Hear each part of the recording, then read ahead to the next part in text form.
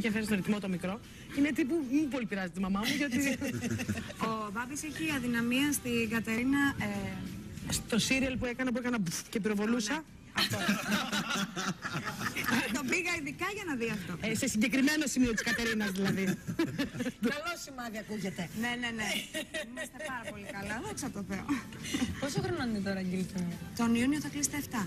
Μαλάρι μου. Μεγάλος. Πότε έγινε 7, μωρέ; Εντάξει, τι παθαίνω αυτά που δεν συνειδητοποιώ καθόλου τα χρόνια. Περνάνε, περνάνε γρήγορα τα χρόνια με τα παιδιά. Τι, η Δευτέρα πηγαίνει; Πρώτη. Πρώτη. Τι είναι και ο καλός με αυτή.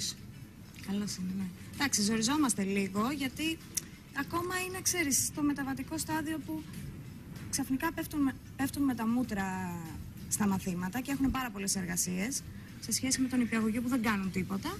Αλλά εντάξει.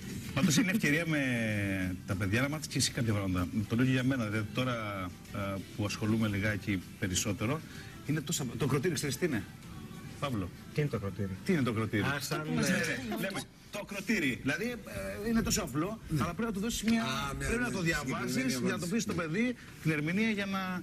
Είναι τόσα απλά θεματάκια, τόσα πολλά πραγματάκια. που Ξαναμαθαίνουμε κι Τα εμείς. ξαναμαθαίνεις, ναι. Αγγελική, δεν μου λες τώρα που έχετε μπει σε αυτή τη διαδικασία με τον Κώστα και ε, σκέφτε, θέλετε να παντρευτείτε, οργανώνεστε κτλ. Έχεις συζητήσει καθόλου. Τι είπα. Πα. Άμπα, ε, νόμιζα. Όχι, δεν. Δεν ισχύει αυτό, γιατί διαβάσαμε ότι έχεις διαλέξει και τον ηφικό. Όχι, παιδιά, δεν ισχύει τίποτα. Αλήθεια. Ναι, τε- το, το έχω ξαναπεί ότι δεν έχουμε κάνει τίποτα ακόμα. Χαλαρά. είναι. Παιδιά, εγώ δεν ξέρω καθόλου. Βοηθήστε με, τι είναι αυτό που ρωτάς τώρα; Δεν το ήξερα. Κάτσε να πω λίγο. Από ό,τι φαίνεται δεν το... Ε, Ετοιμάτε να παντρευτείτε αυτό το κορίτσι που είναι μαζί μας. Έτσι νόμιζα. Έτσι γράφτηκε. Τουλάχιστον. Έτσι, ότι ναι, αυτό που λέει ο Παύλος ισχύει και για, μέχρι και για τον ηφικό. Ναι, για διαβάσαμε συγκεκριμένο νόμιζα. σχεδιαστή Εντάξει, και. αυτό, ναι. Γράφουν διάφορα, αλλά δεν έχουμε κάνει τίποτα ακόμα. Σιγά σιγά. Δεν Σου είναι έχει πιο χαλαρά. κάνει πρόταση γάμου ο Κώστας. Είπαμε ότι παντρευόμαστε το καλοκαίρι, ναι, απλώς δεν έχουμε ξεκινήσει να Ω, κάνουμε. Ωραία, εγώ εκεί θέλω να μείνω. Νόμιζα δεν Ναι. παντρεύεστε καθόλου και λέω Ε, όχι. μόνη μου. Ε, α, Και πάει μόνη σε γάμο. Μόνη όχι, της. παντρεύεσαι. Εκεί ήθελα να το πάω λοιπόν, όχι στο δια- στη διαδικασία του γάμου καθόλου. Ε, σε σχέση με τον μικρό, έχετε συζητήσει καθόλου, σου λέει Μαμά, θα κάνεις κανένα άλλο παιδάκι, να έχω αδερφάκι. Α, εδώ Σου και έχεις πάρα ζητήσει; πολύ καιρό μου το έχεις Στο ζητήσει. λέει, ε. Θέλει παρέα ο μπαμπίνος. Ε, τα παιδιά που είναι μόνα τους θέλουν πάρα πολύ ένα αδερφάκι. Μέχρι που έρχεται και του αλλάζω τα φώτα στο ξύλο. Προχθές είχε την ξαδερφούλα του σπίτι. Συνήθως. Δεν την άφησε σε ησυχία, είχε τρελαθεί. Το μωρό, ε. Μα, έτοιμη είναι. Εντάξει, θα δούμε στο μέλλον. Έχει και μια κόρη ο Κώστας, έτσι δεν είναι; Με την κόρη του Κώστα πώς είναι η σχέση Είναι τους; πάρα πολύ καλά τα παιδιά μαζί. Τι διαφορά έχουν, ε; Η Νεφέλη είναι 11, στα 12. Εντάξει, δεν είναι πολύ μεγάλη η διαφορά. Και μπήκες εσύ καθόλου σε αυτή τη διαδικασία εννοώ του γάμου και τη επισημοποίηση τη σχέση με αυτό το σκοπό, ή είναι κάτι που δεν σκέφτεστε ακόμα καθόλου, το παιδί; Τι εννοείς, αν πήραμε την απόφαση λόγω του παιδιού; Όχι, να παντρευτείτε για να κάνετε παιδί. ή δεν είναι καθόλου στο μυαλό σου; Ούτως ή άλλως, όταν έκανα το. Τον Μπάμπη δεν ήμουν παντρεμένη. Δεν, ε, όχι, δεν είμαι αυτής της άποψης γενικά. Δεν είναι αναγκαστικό, αναγκαστικό αυτό. Αλλά είναι κάτι που θέλουμε να το κάνουμε. Θέλουμε να πάμε στην εκκλησία, να πάρουμε την ευλογία του Θεού. Είναι σημαντικό αυτό για μένα πολύ.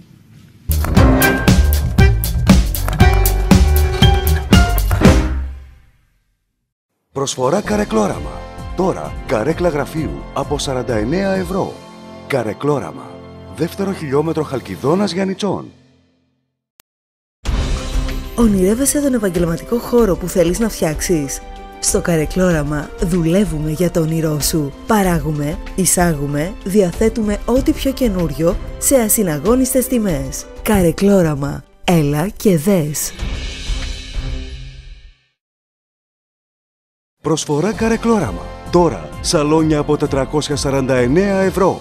Καρεκλόραμα. Δεύτερο χιλιόμετρο Χαλκιδόνας Γιαννητσών.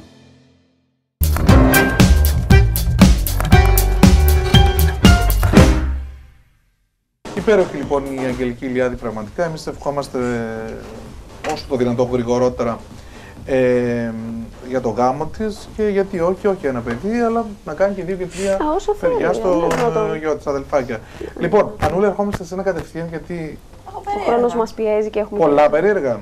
Δύο. Άντε, για να ακούσουμε. καλά. Για να- Καλά. Ναι, ναι, ναι. Λοιπόν, Το ένα μου αρέσει πάντως και με ενδιαφέρει πάρα πολύ. Ναι, πολλούς ενδιαφέρει. Είναι το ελιξίριο της νεότητας. Γι' αυτό το Όλο τον κόσμο ενδιαφέρει. Πλάκα κάνουμε. Χαμογελάτε όλοι σας, ε. Εννοείται. Λοιπόν, ξεχάστε Παλίτες. τις ακριβές κρέμες, προσώπου, σώματος και οτιδήποτε άλλο, γιατί το ελιξίριο της νεότητας κρύβεται στα σκουλίκια. Τι Με εννοείς. συγχωρείς, δηλαδή τι θα τρώμε Αυτά που σκουλίκια; απεχθάνεστε όλοι, εκεί είναι το ελιξίριο της νεότητας. Ακούστε, ε, οι επιστήμονες καλλιέργησαν 20.000, μια απικία 20.000 σκουλικιών και είδαν Ολόκληρη ότι δεν παθαίνουν τίποτα, δεν πεθαίνουν ποτέ τα σκουλίκια και μάλιστα ότι άμα κοπεί ένα μέρος τους, αυτό μετά Συμπληρώνεται. από λίγο Ναι. καιρό συμπληρώνεται. Μόνο αν υπάρχουν κάποια ασθένεια θα πεθάνουν. Ε, και πάνω εκεί στηρίζουν όλη την έρευνα και μπο- προσπαθούν να δημιουργήσουν ε, κάτι σαν σε σ- στυλ κρέμας, υγρά και τέτοια, τα οποία ε, κάνουν το δέρμα να ξανανιώνει, να μένεις πάντα νέος και είναι πάρα πολύ θετικό Μισό, αυτό. μισό, μισό. Αυτό το πράγμα το κάνουν κρέμα, έτσι. Ναι. Εσύ είπες τέρμα της κρέμες καταρχήν. Τις ακριβές Αυτές Μα τις, ήδη, τις ακρι- μα ήδη, εγώ ξέρω ότι κυκλοφορεί στο εμπόριο μία κρέμα η οποία γίνεται σαλιγκάρι. από σαλιγκάρι. Ναι, ναι, ναι, ναι, εντάξει. ναι. Για την ανάπλαση και Για την ανάπλαση του δέρματος. Του και δέρματος όλα αυτά. κανονικά. Γιατί αν σπάσει το κέλφος του σαλιγκαρικού μετά από κάποιο χρονικό διάστημα, Ξαναγίνεται, πληρώνουν αναπλάθεται. Κανονικά. Και παίρνουν κάποιες ουσίες, δεν ξέρω, από το το κέλεφο, σέλφο. από το σαλιγκάρι, δεν ξέρω τι ακριβώ. Το κέλυφος, Και κάνουν το κρέμες. ίδιο. Οι οποίες είναι πανακριβού. Ναι. Ε, Αυτές συνήθω οι Λέμε. πλαστικές επεμβάσεις δεν χρησιμοποιούνται. Μετά πλαστική επέμβαση. Ποια; Όχι, αυτό Όχι, όχι, χρησιμοποιεί όχι. κανονικά. Σε οτιδήποτε Πέτρο, αφορά- αν θα κάνω Να πλαστική κλείσουν το επέμβαση, μες και την τα κρέμα λοιπά. τι τη θέλω. Το μέση να κλείσουν και τα λοιπά, αυτό σου λέω. Όχι. Το έχω ακούσει πρόσφατα γι' αυτό το λέω. Και τελικά τόσε Και να καλέ. κλείνουν το μέση. Ναι, είναι για την αποκατάσταση άλλο του είναι. Όχι, αυτό δέρματος, είχε αλλά και για δημιουργηθεί, την... είχε γίνει έρευνα Α, πρώτα δεν για είναι. αυτούς που Ναι. είχαν ε, προβλήματα τέτοια και Ναι. μετά βγήκε Άρα στο το εμπόριο. μέλλον- Όχι, όχι, είναι για το πρόσωπο και δεν είναι για τις όλες από μέσα. Εντάξει. Αυτό όμως που βλέπουν οι επιστήμονες με τα σκουλίκια είναι και για το δέρμα. Όταν τα χέρια αρχίζουν και ζαρώνουν, ξέρεις τα πάντα που κρύβονται, Πολύ φανερώνουν την ωραία. ηλικία. Αφού δεν θα τα τρώμε, πάλι καλά. Πάμε λίγο να δούμε για το αυτό. Το επόμενο Παρακαλώ. θεματάκι μας είναι μια κυρία η οποία βγήκε σώα από τρακάρισμα χάρη στο μεγάλο στήθος της. Φυσικό. Κανονική αερόσακη. Σιλικόνη, κανονικά. Φυσικό. Σιλικόνη. Ε, ε. Ε, η κυρία, η γυναίκα έχει κάνει συνολικά τουλάχιστον 10 χειρουργικές επεμβάσεις αυξητικής ε, προσθετικής στήθους και ισχυρίζεται ότι είχε ατύχημα με το αυτοκίνητο. Ναι, με φορούσε ζώνη, αλλά λέει είμαι τυχερή γιατί χάθηκα σο- ε, ε, χάρη στο στήθος μου, γιατί μόλις ε, φρεν, φρέναρε... Αντί για ακούμπησε το αερόσακο. στήθος της- Φορά ζώνη. Δεν Εντάξει. φορούσε ζώνη. Δεν Δεν φορούσε. Φορούσε. Ναι, συγγνώμη, δεν φορούσε ζώνη και ακούμπησε το στήθος της πάνω στο τιμόνι και αυτό την έσωσε, δεν έπαθε ούτε γρατσουνιά. Αερόσακο Το άλλο δεν δεν σου κάνει είχε. εντύπωση. Ούτε ώρα σηκωστή. Αερόσακο δεν είχε. Όχι. Δεν είχε, είχε. δύο. Από ό,τι και το. 31 κανονικά. χρόνια είχε κάνει Να 10 σου πω, επεμβάσεις Δεν και σου κάνει εντύπωση σκάσανε. το άλλο. Τίποτα δεν πάθανε; Τι σώσανε. Αυτά είναι. Τι; Να τον κάνεις στον Αυτά είναι. αερόσακο που χαλάει; Πώς να γλιτώνεις από τα τροχαία, έτσι. Ναι. Φαντάζεστε. Ε; Όχι. Άλλα πλεονεκτήματα σε εμάς τις γυναίκες. Λοιπόν, κυρίες και κύριοι, και πάμε λίγο στα αποκλειστικά μας θέματα. Ο Γιου Αχ, Γκαλελή παι- το περιμένω τόση εδώ στην ώρα. Αθήνα. Θα ξεκινήσουμε πρώτα από την διασκέδαση, γιατί πήγαμε και διασκεδάσαμε. Πήγαμε στην Ελεάνα την Παπαϊωάννου. Φραντζέλικο. Φραντζέλικο στην Αθήνα. Θανάσης ε, Θανάσης. Βασιλάκος, μπράβο, καλά που μου το πες, μην ξεχνιόμαστε. Και ο Τραγούδισε Μενιδιάτης. δεν Και ο είναι. Χρήστος Χρήστος Μενιδιάτης. Μενιδιάτης. Και θέλω να πω, και ήταν και ο γενιαστική, ε, με τον Θανάσιο Βασιλάκο, ο οποίος τραγούδισε τουρκικά το Μαδί Μαδί, ο οποίος βέβαια πήρε το μικρόφωνο και τραγούδισε. φυσικά. Και να σου πω και κάτι, εκείνο που μου έκανε φοβερή εντύπωση σε αυτόν τον άνθρωπο είναι ότι είναι τόσο απλός όσο δεν μπορείτε να φανταστείτε. Αυτό είναι, να είσαι Και κάνει προσιτός. καριέρα όχι στην Τουρκία, κάνει στο εξωτερικό, στην Αυστρία, στη Βιέννη. Τον έχουμε δει σε διαγωνισμό της Eurovision στην Βιέννη, στον τελικό έχει παρουσιάσει, Αχα. τον τελικό της Κάτι για, Αυστρίας. για dancing έχω ακούσει Έχει επίσης. χορέψει στο Στο Dancing Dancing with the with the Stars, όπου Stars. πήρε και έβρε το πρώτο βραβείο. Πολυτάλαντος. Εντάξει, και θέλω να πω ότι ξεκίνησε ε, από το χώρο του modeling, γι' αυτό σου λέω, γιατί ήταν πάρα πολύ. 20 χρόνια έκανε Modeling. Και μετά Και ήρθε μετά η υποκριτική. Το, ήρθε η υποκριτική. Λοιπόν, πάμε να δούμε τη διασκέδαση του Ο Γκιούς Γκαλελή Γκαλελή. και σε λίγο μαζί.